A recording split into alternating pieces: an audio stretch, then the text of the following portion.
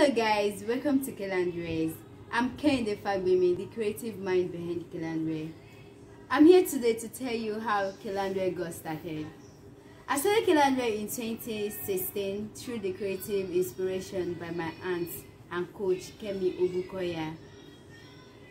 I am born into a family that love fashion, with my mom, my dad, and my twin brother into the fashion space. I grew up loving fashion, but there's something in me that I want to do the same thing with everyone in my family. But this is what my auntie see that she gave me a nudge to go into a proper fashion school, which I did, a 12 month intensive fashion training. I created um, Kaylandwear because I love styling women and I love seeing women looking good and feeling cool in what they wear because I believe when women look good with what they put on, they will work effectively and they will feel more empowered in their life journey. Being into the fashion space has not been an easy task, trust me, it has not. But with hard work and commitment, which is an ongoing process, I was able to stay keep moving. I I love styling women. I love making women, girls, and ladies looking good.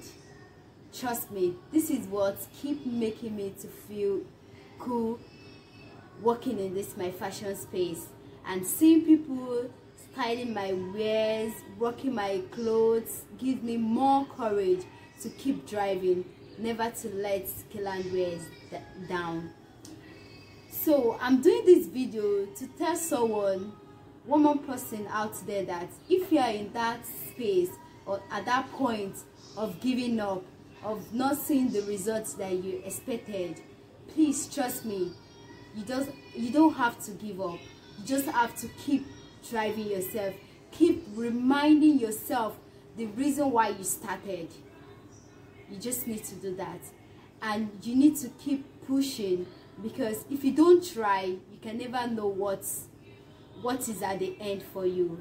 What you you are about to gain or what you're about to to give to another person out there. So please if you have not patronized us or you've not contact us or you've not ordered our beer please do. And there's no reason and no doubt for you to say that you don't want to patronize Kinadwe. We got you cover. You and your princess, we got you all cover. So follow us on Instagram at Killandwears, on Facebook at Killand Killand Beats and Clothing, and on YouTube channel at Killandwears. See you soon and have a lovely day. Bye.